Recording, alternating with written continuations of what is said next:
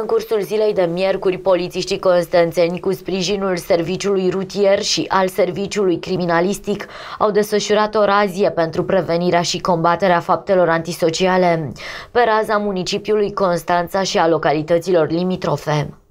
Astfel, peste 150 de polițiști au acționat în sistem integrat în 77 de locuri și medii de interes operativ, ocazie cu care au fost legitimate 651 de persoane, 34 dintre acestea fiind conduse la sediile de poliție în vederea stabilirii identității și luarea măsurilor legale care se impun. Pe parcursul activității, polițiștii au aplicat 241 de sancțiuni contravenționale în valoare totală de 99.065 de lei și au fost confiscate bunuri în valoare de 1.800 de lei, respectiv 500 de kilograme de legume și 91 de pachete de țigări. În cursul zilei de 25, uh, pe rata întregului municipiu Constanța, Poliția Municipiului Constanța a desfășurat o razie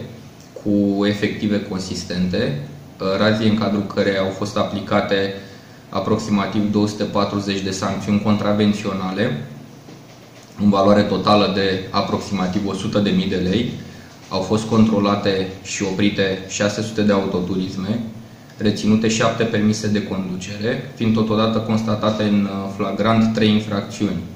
Au fost efectuate 3 percheziții în urma tuturor activităților, fiind conduse la sediu uh, pentru verificări 34 de persoane. Oamenii legii vor fi la datorie și în mini-vacanța de 1 mai, când vor acționa atât pentru fluidizarea și monitorizarea traficului, cât și pentru a preîntâmpina producerea unor evenimente grave.